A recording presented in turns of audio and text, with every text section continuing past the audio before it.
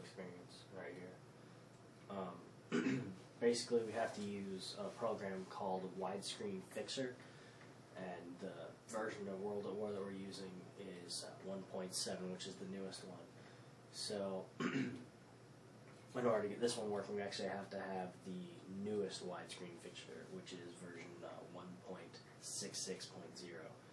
Uh, I have three 24-inch monitors here uh, that are 1080p, so I'm going to have to go with a 16 by 9 widescreen resolution. Uh, currently, my desktop resolution is lower than that, and that's only because my power supply is a little bit weaker than it needs to be for an Eyefinity setup at that resolution. So I actually have to drop it lower in order to get the display port not to flicker the monitor and shut it off. I'll be fixing that later. But anyway, um, just load up World at War here so you can see what it is. Now, the, the program itself, uh, the widescreen fixer rather, it's got a keybind in which you can change yourself. Uh, the default is the semicolon button. We're just going to click that right now so you can see the difference.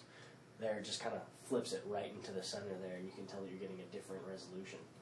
So what we're going to do is we're going to resume an old game that I have. Just let it load for a second. Well, a couple more than a, than a second, rather. And I've got my headset set up on this, my G35 headset, so you're not going to be able to hear any audio from the game itself. There we go. Now here's the actual in-game. And we can go ahead and flip through so you can tell there's a difference.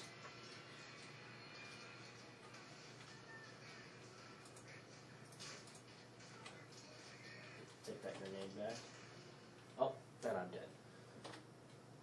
But anyway, can see the widescreen fixer with Eyefinity. And that's basically how it works. Um, you can have pretty much any resolution you want going and change the aspect ratio so that it works perfectly with your monitor.